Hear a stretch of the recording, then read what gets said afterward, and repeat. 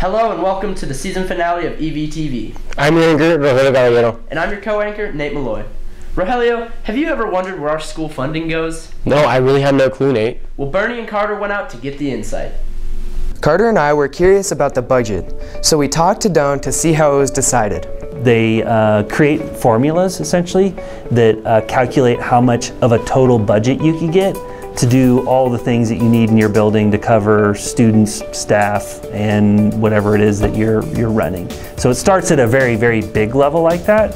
And then yes, I get a, or we get a pot of money and then that becomes our instructional budget, our athletic budget, our transportation budget, um, and then it gets further divided out by departments, programs, all that sort of stuff. Once Doan divides the money, it goes to the head of each department.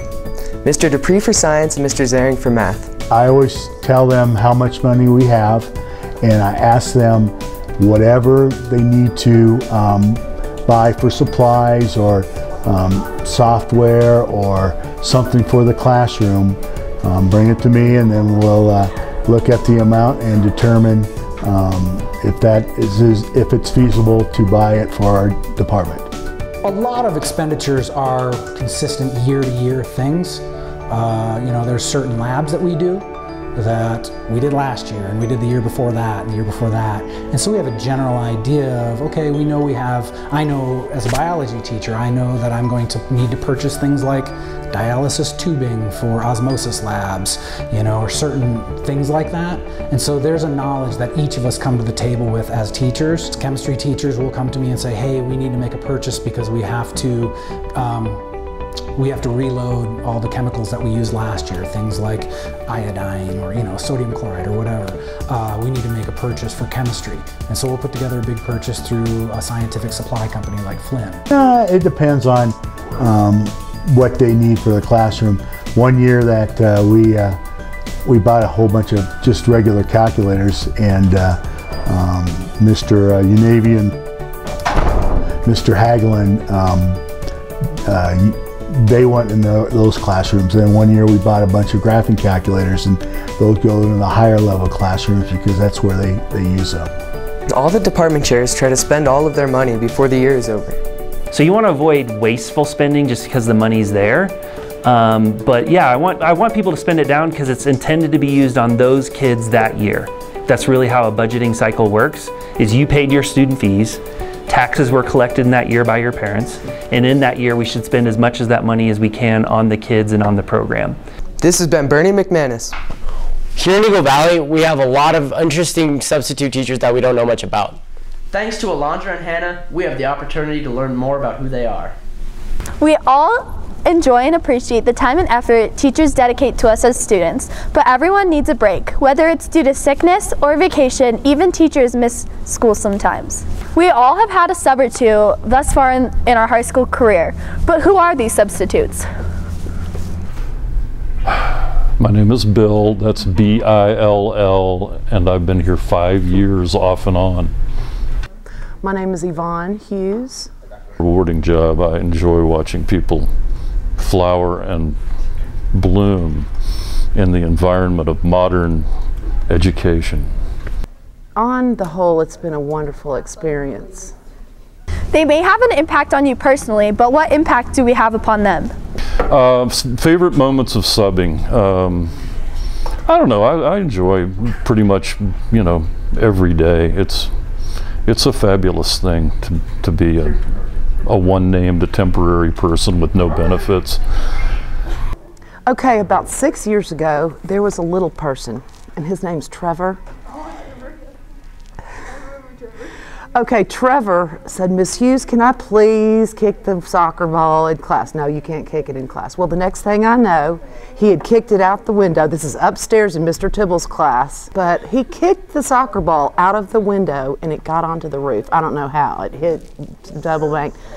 The next thing I know, little Trevor is on the roof. He had climbed out of the window and got on the roof and was walking around on the roof and and the next thing I know, he was riding around to school on his little moped. And then I helped him get his college essay done, and he got into a really good college. And he said, Thank you, Miss Hughes, it was all you. So, yeah, it was me. Thank you. Not only do we have substitutes that are occasionally here, but we also have permanent subs who are in the building all the time, just like a teacher.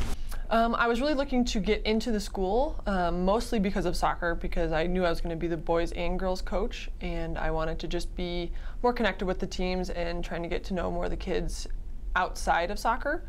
Um, and so I was talking to Mr. Doan and asking him if there was any way I could get in, and this was the, kind of the perfect, perfect opportunity. So. Believe it or not, I was really close friends with Eric Mandeville, and I used to come in and teach his history, medieval history classes, and bring in my armor and swords and dress students up and let them see what it felt like. And they had an opening for a substitute. He knew I had retired, and he said, "Well, why don't you come be a substitute?" And then the opportunity presented itself to become a permanent substitute, and so I just stayed here. Um, I think getting to know not only my soccer kids more, but the whole student body. Um, that's been really exciting and really fun because you know being a part of the school on the soccer field is really fun, but then to be a part of the school more kind of in the everyday aspect has been really fun and exciting. I like being here. I like one of the hard things when you retire is having a sense of value.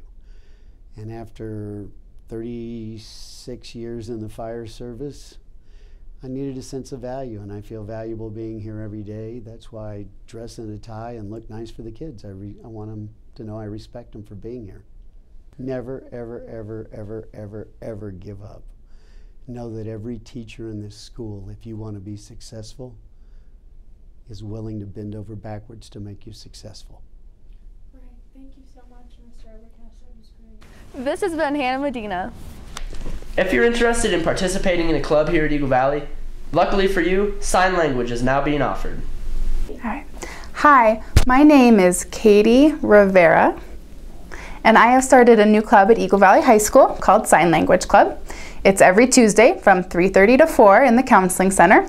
Learning sign language has so many benefits. Some of which are learning another language, communicating with people who are deaf or nonverbal, and it's just so much fun.